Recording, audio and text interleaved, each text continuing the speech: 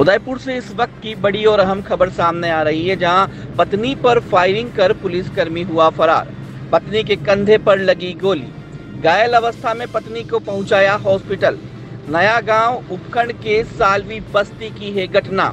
उदयपुर के टीडी थाने में तैनात है आरोपी पुलिसकर्मी। सूचना मिलने पर पहाड़ा और खेलवाड़ा थाना पुलिस पहुँची मौके पर। पुलिस कर रही है पुलिसकर्मी मुकेश सालवी की तलाश। पुलिस मामले की जाँच में जुटी किन कारणों में पुलिसकर्मी ने किया था फायर?